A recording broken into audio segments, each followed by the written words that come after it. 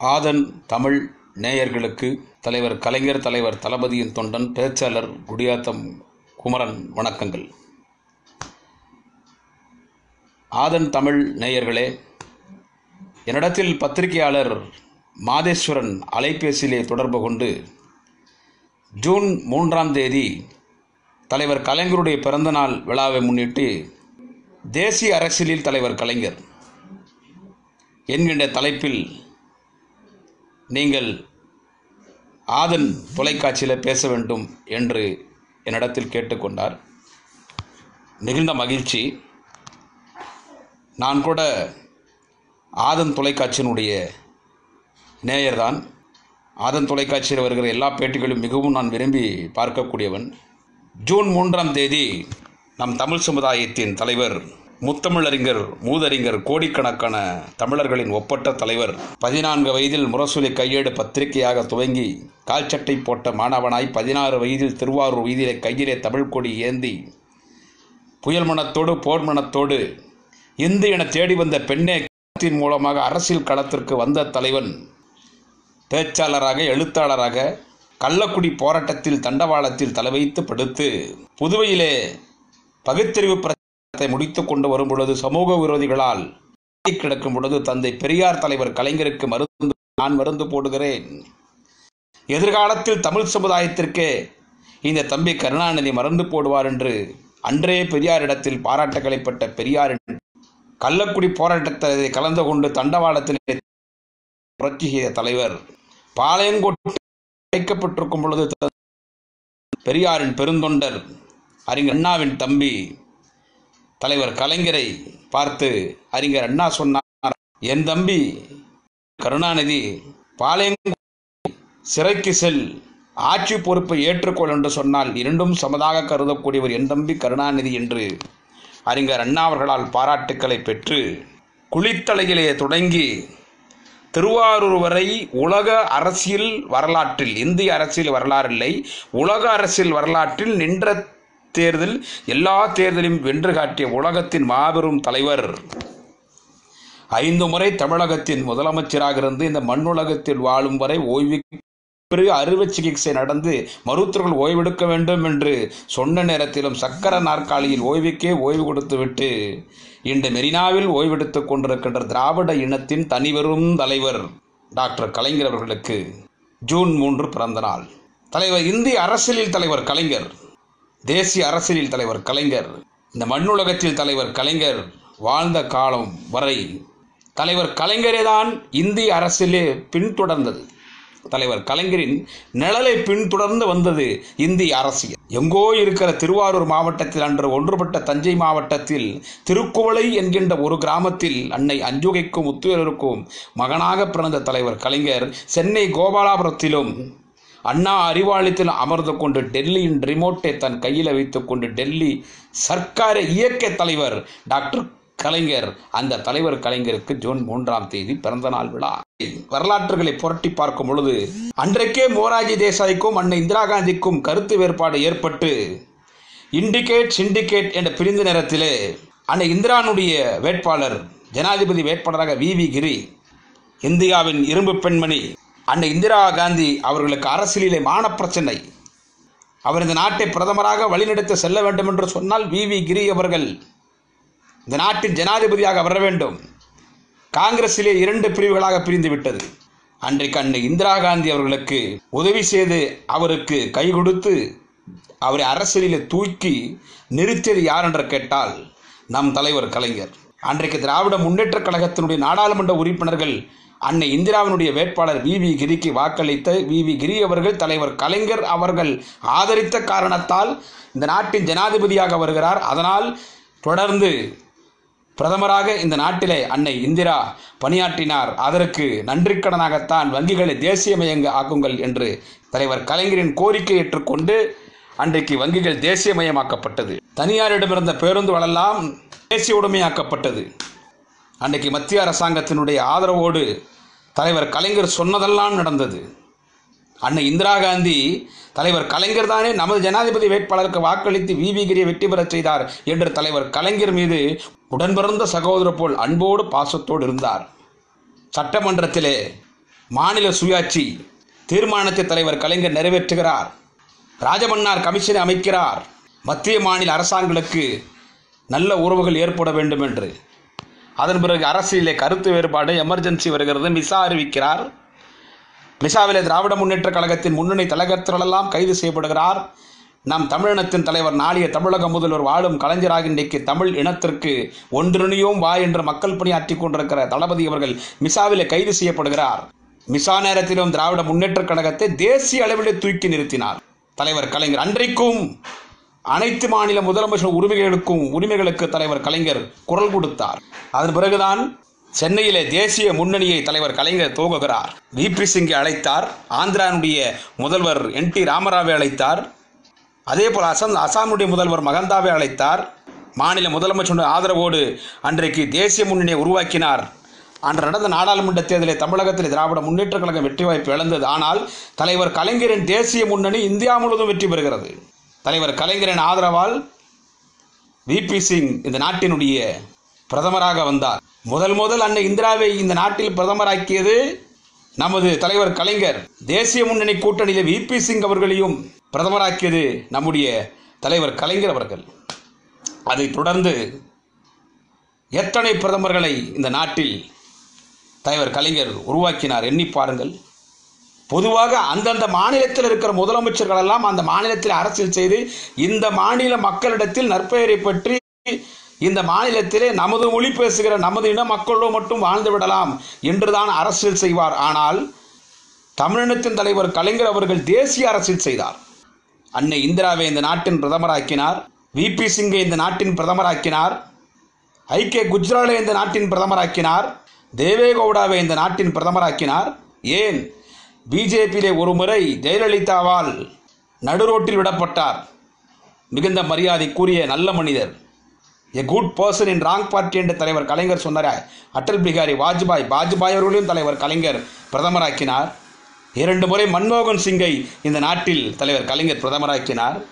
ஜனாதிபதி we we கிரியை தொடர்ந்து பிற்படுத்தப்பட்ட சமுதாயத்தைச் சேர்ந்த ஜெயில் சிங்கை இந்த நாட்டின் ஜனாதிபதியாக்கினார் பிரதிபா பட்டேலை இந்த நாட்டின் ஜனாதிபதியாக்கினார் கே ஆர் நாராயணனை இந்த நாட்டின் ஜனாதிபதியாக்கினார் அப்துல் கலாமை இந்த நாட்டின் ஜனாதிபதியாக்கினார் இப்படி பல பிரதமர்களை பல ஜனாதிபதிகளை தமிழகத்திலே அமர்ந்து கொண்டு கோபலாபுரத்தில் இருந்து பிரதமர்களையும் ஜனாதிபதிகளையும் உருவாக்கிய தலைவர் டாக்டர் கலைஞர். தலைவர் கலைஞருடைய திட்டங்களை எல்லாம் இந்திய அரசிலே பின்பற்றியது. முதல் முதல் இந்திய அரசியல் வரலாற்றில் குடிசை வீடுகளெல்லாம் அகற்றிவிட்டு காங்கிரீட் வீடுகளாக கட்டி கொடுத்த இந்தியாவின் முதல் தரவர் ஒரே தலைவர் ஜூன் மூன்று பிறந்த நாள் விழா கொண்டாடுகிற நம் தலைவர் டாக்டர் கலைஞர். முதல் முதல் குடிசை வீடுகளை எல்லாம் அகற்றிவிட்டு காங்கிரீட் வீட்டாக அரசாங்கத்தின் சார்பில் ஏழை எளிய மக்களுக்கு தலைவர் கலைஞர் கட்டி தந்த திட்டத்தை அன்னை இந்திரா பின்பற்றி இந்திரா குடியிருப்பு என்று இந்தியா முழுவதும் இருக்கிற ஏழை எளிய மக்களுக்கு அன்னை இந்திரா காந்தி அவர்கள் தலைவர் கலைஞருடைய அந்த திட்டத்தை குடிசை அமை குடிசை வீடுகளை எல்லாம் அகற்றிவிட்டு காங்கிரீட் வீடாக கட்டி கொடுத்தார். இந்திய துணைக்கண்டத்தில் முதல் முதல் ஜாதி மதம் இல்லை என்ற மேடைகளில் மட்டும் பேசாமல் இடஒதுக்கீட்டை மட்டும் அறிவிக்காமல் அனைவருக்கும் ஜ ஒரு ஒற்றுமையாக ஒரு இடத்தில் வாழுங்கள். தலித் மக்களாக இருக்கட்டும் பிற்படுத்த மக்களாக இருக்கட்டும் மிகவும் பிற்படுத்தப்பட்ட மக்களாக இருக்கட்டும் பிராமணர்களாக இருக்கட்டும் மலைவாழ் மக்களாக இருக்கட்டும் எல்லோரும் சமூத்துவமாக வாழுங்கள் என்று தொண்ணூற்றி ஆறில் முதலமைச்சராக பொறுப்பேற்றுள்ள தலைவர் கலைஞர் சமத்துவபுரத்தை கொண்டு வந்து கொண்டு வந்தார் திட்டத்தை அறிவித்தார். இந்தியா முழுவதும் எல்லா மாநில முதலமைச்சர்களும் அதை பின்பற்றினார். தேசிய அரசியல் தலைவர் கலைஞரே சமத்துவத்தை பின்பற்றியது. உலக அரசியல் வரலாற்றில் பெண்களுக்கு சொத்திலே சமப்பங்கு என்று சொன்னால் அருமை. தோழர்களை உடன்பிறப்புகளை பெண்களுக்கு சொத்திலே சம பங்கு என்று அண்ணன் அம்பேத்கரின் கனவை தந்தை பெரியாரின் கனவை அறிஞர் அண்ணாவின் கனவை நிறைவேற்றவர் யார் என்று கேட்டால் தலைவர் கலைஞர் தான். பெண்களுக்கு சொத்திலே சம பங்கு கொடுத்தார். தலைவர் கலைஞரின் பெண்களுக்கு சொத்திலே சம பங்கு என்கின்ற அந்த நல்ல திட்டத்தை இந்திய அரசில் பின்பற்றி எல்லா மாநில முதலமைச்சரோடும் தலைவர் கலைஞரை பின்பற்றி பெண்களுக்கு சொத்திலே சம பங்கு என்று அறிவித்தார். உழவர் சந்தை கலைஞர் கொண்டு வந்தார். அந்த திட்டம் ஆந்திராவிலே வந்தது பல மாநிலத்தில் வந்தது இந்திய அரசியல் தலைவர் கலைஞரை பின்தொடர்ந்தது. இதையெல்லாம் தாண்டி பல பிரதமர்களை தலைவர் கலைஞர் உருவாக்கினார் பல ஜனாதிபதிகளை தலைவர் கலைஞர் உருவாக்கினார் பல திட்டங்களை தலைவர் கலைஞர் இந்திய அரசியலிலே தலைவர் கலைஞருடைய பங்கு இருந்த காரணத்தால் பல திட்டங்களை கொண்டு வந்தார். இந்தியாவில் இருக்கிற அத்தனை மாநில முதலமைச்சர்களுக்கும் குடியரசு நாளன்றும் சுதந்திர நாளன்றும் தேசிய கொடி ஏற்றுகிற அந்த உருவியை பெற்றுத்தந்த ஒரே ஒரு தலைவன் யார் என்று கேட்டால் இந்தியாவில் நம் கழகத் தலைவர் தமிழினத் தலைவர் திராவிட இனத்தினுடைய நிரந்தர தலைவர் மெரினாவில் ஓய்வெடுத்துக் கொண்டிருக்கின்ற தலைவர் கலைஞர் தான் அனைத்து மாநில முதலமைச்சர்களுக்கும் தேசிய கொடி ஏற்ற உரிமையை பெற்றுத்தந்தார் இந்திய அரசியல் தலைவர் கலைஞரை என்றைக்கும் மறக்காது. அருமை உடன்பிறப்புகளே தோழர்களே நண்பர்களே நேயர்களே. எல்லா பத்திரிகையாளர்களும் கேட்டார்கள் தலைவர் கலைஞரை பார்த்து சென்னையிலே நீங்கள் அமர்ந்து கொண்டு அரசியல் செய்ய வேண்டும் அரசியல் நடத்த வேண்டும் என்றால் ஆலோசனை நடத்துவதற்கு கூட நீங்கள் டெல்லிக்கு வருவதில்லை. இல்லை பக்கத்து மாநிலத்து கர்நாடகாவுக்கோ ஆந்திராவுக்கோ மத்திய பிரதேசுக்கோ உத்தரப்பிரதேசத்துக்கோ நீங்கள் செல்வதில்லை. உங்களுடைய கோபலாபுரம் இல்லத்தில் அமர்ந்து கொண்டு உங்கள் கட்சியின் அண்ணா அறிவாலயத்தில் அமர்ந்து கொண்டு உருவாக்கி இருக்கிற தலைவர் கலைஞர் அவர்களே பிரதமர்களையும் ஜனாதிபதிகளையும் உருவாக்குகிற இடத்தில் இருக்கிற நீங்கள் ஏன் இந்த நாட்டின் பிரதமராக ஒரு முறை கூட நீங்கள் வருவதற்கு முயற்சி எடுக்கவில்லை ஜனாதிபதியாக வருவதற்கு முயற்சி எடுக்கவில்லை என்று பத்திரிகையாளர் தலைவர் கலைஞரை கேள்வி கேட்டவுடன் இந்திய அரசியலின் தனிபெரும் தலைவர் கலைஞர் சிரித்துக்கொண்டே சொன்னார் என் உயரம் எனக்கு தெரியும். எவ்வளோ பெரிய தலைவன். என் உயரம் எனக்கு தெரியும். அவர் கை நீட்டியவர் பிரதமராக வருகிறார். அனைத்து மாநில தலைவரிடத்திலும் அமர்ந்து கொண்டு தொலைபேசியிலே பேசி அனைவரிடத்தும் ஆதரவுகளை பெற்று இவர் சொல்லி பிரதமர் ஆனார்கள் இவர் சொல்லி ஜனாதிபதி ஆனார்கள் இவரால் ஆக முடியாதா? அதை கலைஞர் விரும்பவில்லை. நான் தமிழ்நாட்டில் இருந்து கொண்டு என் தமிழ் மக்களுக்காக பணியாற்ற வேண்டும். தமிழக மக்களின் பிரதிநிதியாக இருந்து கொண்டு இந்திய நாட்டு திருமக்களுக்கு பணியாற்ற வேண்டும் என்று சொன்னால் நான் தமிழகத்தில் தான் இருப்பேன் என்று சொல்லி தன்னால் முடியும் எதுவும் செய்வதற்கு சாதிப்பதற்கு இவர் சொல்லி ஒருவர் பிரதமர் என்று சொன்னால் இவரால் பிரதமராக முடியாதா? எனக்கு அது தேவையில்லை. என் உயரம் தெரியும் என்று சொல்லிவிட்டு பல பிரதமர்களை பல ஜனாதிபதிகளை உருவாக்கிய ஒரு மாபெரும் தலைவர். பாராளுமன்றத்தில் தலைவர் கலைஞரை புகழ்ந்து பேசாத தலைவர்களே இல்லை. என் டி ராமராவாக இருக்கட்டும் சந்திரபாபு நாயுடுவாக இருக்கட்டும் கர்நாடகாவில் அன்றைக்கின்ற ராமகிருஷ்ண ஹெகடேவாக இருக்கட்டும் பங்காரப்பாவாக இருக்கட்டும் பட்டேலாக இருக்கட்டும் பல மாநில முதலமைச்சர்கள் ஆந்திராவில் எடுத்துக்கொண்டால் அவர் நெருங்கிய நண்பர் என் டி ராமராவ். அதன் பிறகு வைஎஸ்ஆர் இன்றைக்கு இருக்கிற ஜெகன்மோகன் அங்கே இருக்கிற ராஜசேகர் வட மாநிலத்தினுடைய முதலமைச்சர்கள் ஷேக் அப்துல்லா ஃபருக் அப்துல்லா காஷ்மீரிலே அனைத்து மாநில முதலமைச்சர்களும் தமிழ்நாட்டிலே தலைவர் கலைஞர் எப்படி ஆட்சி செய்கிறாரோ அதுபோல் நாம் ஆட்சி செய்தால் தொடர்ந்து மக்கள் நம்மை நமது நாட்டினுடைய முதலமைச்சர்களாக தேர்ந்தெடுப்பார் என்று இந்திய அரசியலில் தலைவர் கலைஞருடைய மிகப்பெரிய பங்கு இன்னொன்று என்னவென்று கேட்டால் எல்லா மாநில முதலமைச்சர்களும் தலைவர் கலைஞரை தங்களின் அரசியல் ஆசானாக பார்த்தார். திராவிட இனத்தினுடைய தலைவர் கலைஞர் என்று சொன்னால் தமிழ்நாட்டுக்கு மட்டுமில்லை திராவிட மொழிகள் எவை? தமிழ் கன்னடம் தெலுங்கு கேரளம் துளு. இத்தனை மாநிலத்துக்கும் தலைவர் கலைஞர் திராவிட இனத்திற்கு மட்டுமில்லை தேசத்தந்தை தேசத்தந்தை தலைவர் கலைஞர். அன்னை சோனியா சொன்னாரே according to as Kalaignar Karunanidhi ji is an national father என்று அன்னை சோனியா சொன்னார். We all follow the senior most leader of India Kalaignar Karunanidhi ji. தேச தந்தை கலைஞர் அவரை நாங்கள் பின்பற்றுகிறோம் என்று சொன்னார். எந்த மாநில முதலமைச்சர்களுக்கும் எந்த மாநிலத்தினுடைய ஒரு மாநில கட்சி தலைவர்களுக்கும் கலைஞருக்கு இருக்கிற வரலாறு இல்லை. ஏனென்றால் ஒரு மாநில கட்சியின் தலைவராக இருந்து கொண்டு தேசிய அளவிலே யார் ஆட்சி செய்ய வேண்டும் என்று முடிவெடுத்த தலைவர் கலைஞரே தான் இந்த தேசிய அரசிலே அவர் திரும்பி திரும்பி பார்த்தது. இன்றைக்கு யார் பிரதமர் என்று முடிவு செய்கிற இடத்துல கலைஞர் இருந்தார் யார் ஜனாதிபதி என்று முடிவு செய்கிற இடத்துல கலைஞர் இருந்தார் இன்றைக்கு தலைவர் கலைஞர் விட்டு சென்ற பணிகளை தலைவர் கலைஞரின் இதயத்தை இரவலாக பெற்றெடுக்கிற வாழும் கலைஞராக இருக்கக்கூடிய எங்களின் இரண்டாம் கலைஞர் தலைவர் தளபதி கலைஞரிடத்திலே கலைஞர் இடத்தில் அவர் இருந்து இந்திய அரசிலே இன்றைக்கு தலைவர் தலைவர் கலைஞருடைய இடத்தில் இருக்கிற தளபதி வழி நடத்துகிறார். மம்தா பானர்ஜி வந்தால் தளபதி சொல்வதை நாங்கள் கேட்போம் என்கிறார். ஆந்திரா முதலமைச்சர் ஜெகன்மோகன் இரண்டு நாட்களுக்கு முன்னால் பத்திரிகையாளரிடத்தில் பேட்டி தருகிறார். நான் இறைவனை நம்புகிறேன் ஆண்டவனை வேண்டுகிறேன். தமிழ்நாட்டின் முதலமைச்சராக தளபதி மு ஸ்டாலின் வர வேண்டும். அவர்தான் அடுத்து இந்திய நாட்டின் பிரதமரை தேர்ந்தெடுக்க வேண்டும் என்று. எனவே உடலளவில் கலைஞர் மறைந்திருக்கலாம். ஆனால் புகழளவில் தலைவர் கலைஞருக்கு எப்படி தலைவர் கலைஞர் அவர்கள் விடுதலை புலி பிரபாகரனை பற்றி சொல்லும் பொழுது பத்திரிகையாளரிடத்திலே தலைவர் கலைஞர் சொன்னார் போராளிக்கு மரணமில்லை என்று சொல்லி. அப்படி தலைவர் கலைஞர் திராவிட இனத்தின் போராளி. இந்திய திருநாட்டுக்கு அவர் செய்த சாதனை எண்ணற்ற சாதனை. வானத்தே இருக்கிற நட்சத்திரத்தை எண்ண முடியாது. எண்ணற்ற சாதனை. தலைவர் கலைஞரின் புகழுக்கு மறைவே இல்லை. மறைவே இல்லை. வாழும் பொழுதும் வரலாற்று படைத்த தலைவர் கலைஞர்.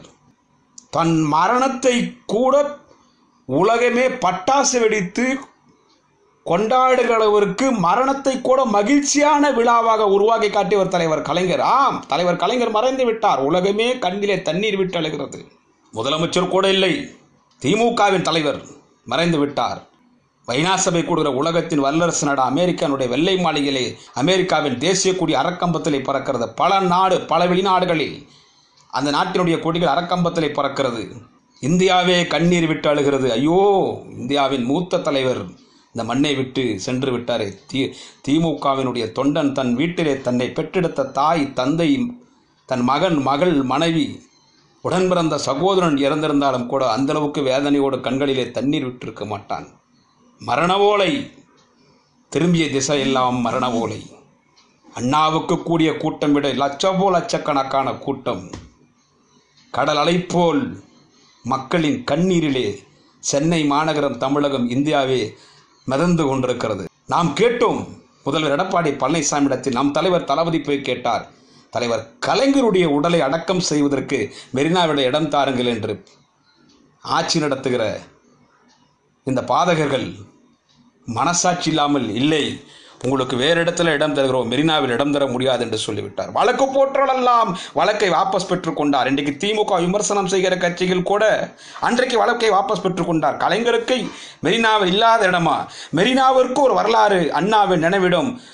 அதேபோல் மெரினாவிற்கு இன்னொரு வரலாறு வேண்டுமென்றால் கலைஞருடைய உடலை அடக்கம் செய்ய வேண்டும் என்று எல்லோரும் வழக்கை வாபஸ் பெற்றுக்கொண்டார் இடம் தர மாட்டேன் என்று எடப்பாடியினுடைய அதிமுக பாசி சாட்சி சொன்னவுடன் நீதிமன்றத்திற்கு தலைவர் தளபதி சென்றார். நீதிமன்றத்திலே நீதிபதிகள் தீர்ப்பு தந்தார். மெரினாவில் கலைஞருக்கு அடக்கம் செய்யலாம் என்று.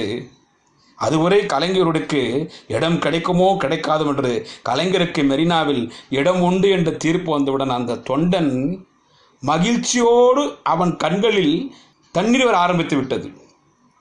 வேதனையோடு மரண வேதையில் அழுந்து கொண்டிருந்த அந்த கண்ணீர் ஆனந்த கண்ணீராக மாறிவிட்டது. எனவே தன் மரணத்தை கூட மகிழ்ச்சியாக மாற்றி காட்டிய உலகத்தின் ஒரே தலைவர் டாக்டர் கலைஞர். அந்த தலைவன் கலைஞருக்கு இந்திய அரசிலே பாராட்டிய தலைவர் கலைஞர். எந்த ஒரு தலைவன் நினைவிடத்திற்கும் தினமும் பூ அலங்காரம் செய்யப்பட்டு தினமும் ஆயிரக்கணக்கான தொண்டர்கள் சென்று வணங்குவதில்லை. ஆனால் கடவுள் இல்லை என்று கலைஞர் சொன்னார். கடைசி வரை கடவுள் இல்லை கடவுள் இல்லை என்று பெரியார் போல் அண்ணா போல் பேசிய கலைஞர். அவர் மறைந்த பிறகு அது கலைஞரின் நினைவிடமில்லை. தமிழக மக்கள் தலைவர் கலைஞரின் நினைவிடத்தை ஆலயமாக மாற்றிவிட்டார்கள். உலக அரசியலில் அந்த தலைவனுக்கு இந்த உலகம் இருக்கும் வரை அந்த தலைவர் புகழோடு இருப்பார். அந்த மாபெரும் தலைவர் கலைஞருடைய பிறந்தநாள் விழாவில் அவருடைய தேசிய அரசியல் பற்றியும் அவருடைய சாதனைகளை பற்றியும் பேசியதில் எனக்கு மட்டற்ற மகிழ்ச்சி. அவர் எழுதாத புத்தகம் இல்லை. பராசக்தியிலே தொடங்கி அவர் எத்தனை திரைப்படங்களுக்கு கதவைசனம் எழுதினார். வள்ளுவர் என்றால் இப்படிதான் இருப்பார் என்று வள்ளுவருக்கே உருவம் தந்தவர் கலைஞர். எத்தனை புத்தகங்கள்? சங்கத்தமிழ். எல்லா மொழிக்கும் எழுத்து தான் இருக்கும். ஆனால் தமிழ் மொழிக்கு மட்டும்தான் உருவம். அந்த தமிழ் மொழியின் உருவம் தமிழினத்தின் தலைவர் டாக்டர் தலைவர் கலைஞர் அவர்கள். தலைவர் கலைஞருடைய பிறந்தநாள் விழாவில் அவர் புகழ் வாழ்க. தலைவர் கலைஞரின் புகழ் ஓங்குக. தலைவர் கலைஞரின் புகழ் ஓங்குக. தலைவர் கலைஞர் வழிநடப்போம். வாழுகிற கலைஞராக இருக்கிற தளபதி தலைமையில் என்று என் செய்தியை ஆதன் தமிழ் தொலைக்காட்சியை பதிவு செய்து விடைபெறுகிறேன். நன்றி வணக்கம். ஓங்குக தலைவர் கலைஞரின் புகழ். வாழ்க தலைவர் தளபதி. வாழ்க ஆறுயிரண்ணன் உதயநிதி ஸ்டாலின். உங்களின் பேச்சாளர் குடியாத்தம் குமரன்.